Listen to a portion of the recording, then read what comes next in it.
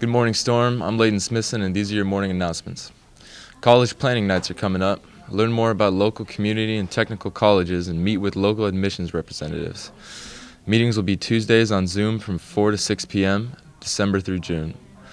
Dates will be December 7th, January 4th, February 1st, March 1st, and more after that. Contact Ms. Gardiski, our new high school and beyond coordinator, for details.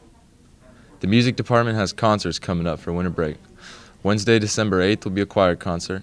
Thursday, December 9th will be a band concert. Friday, December 10th will be an orchestra concert. And Tuesday, December 14th will be the combined band, orchestra, and choir concert. All concerts are at 7 p.m. The winter musical Big Fish is coming up quickly. Auditions were last week and callbacks will be December 7th at 3:30 p.m. The Necessities Drive is still going strong until December 16th.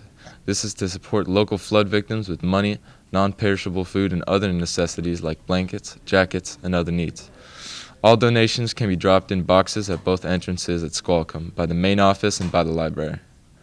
This week, Tuesday and Wednesday, will both be assembly days uh, for Storm Pride assemblies. Tuesday will be an assembly for 9th and 10th graders.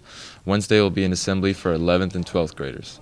This means go to first and fifth period on those days and then go to Storm after that. Have a good day, Storm.